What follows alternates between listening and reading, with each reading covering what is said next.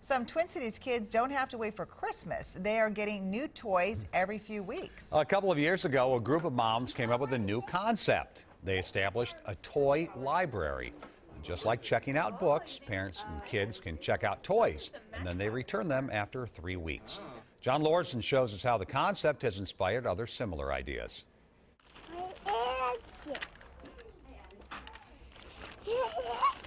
When Philip Stern and his two and a half year old son Theo are looking for new toys, loves trucks, loves garbage trucks. they don't go to a store. Instead, they head to the basement of the Richfield Lutheran Church. You know, I told Theo we're going to the toy library. He's like, oh, we're gonna go, you know, go to the toy library, pick out new toys. And here there are over 800 to choose from. I love that children can check out toys.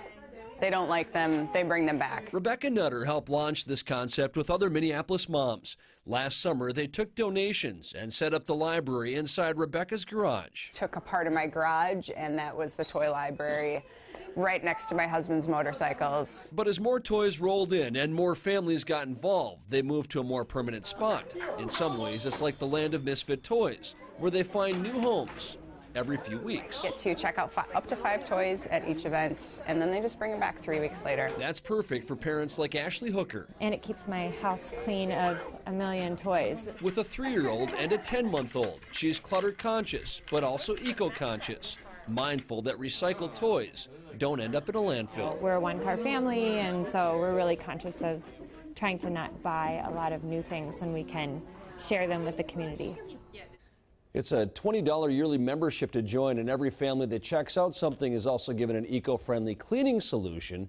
They're expected to clean the toys before they bring them back. Kind of makes sense there. And Sure. They don't accept uh, stuffed animals, and the toys can't be broken when they come in. This concept is catching on in other ways, too. They actually have a Northeast Minneapolis tool library.